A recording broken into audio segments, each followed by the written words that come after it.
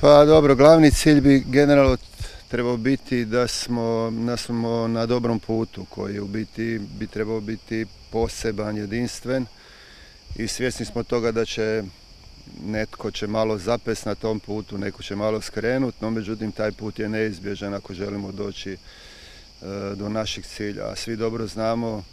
koji je u biti gušt doći kad, si,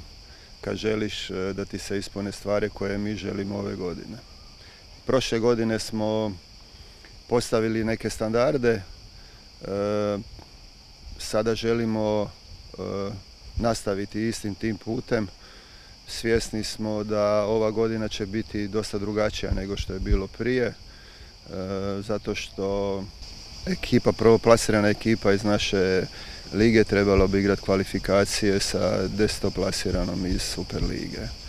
Tako da liga će biti dosta zanimljiva sama po sebi, a na kraju će biti još to, tako da e, imamo dosta dugačak put. E, svjesni smo da sve ovisi o nama, o našem stavu,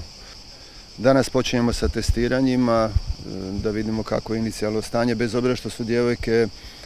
trenirale ovih kao, kao u ovoj pauzi. Imale su obavezu da budu na pijesku ili u teretani, ali svejedno moramo vidjeti u kakvom smo sad stanju, tako da bi mogli ovoga se prilagođavati tome da vidimo u kojim stvarima je nedostatak.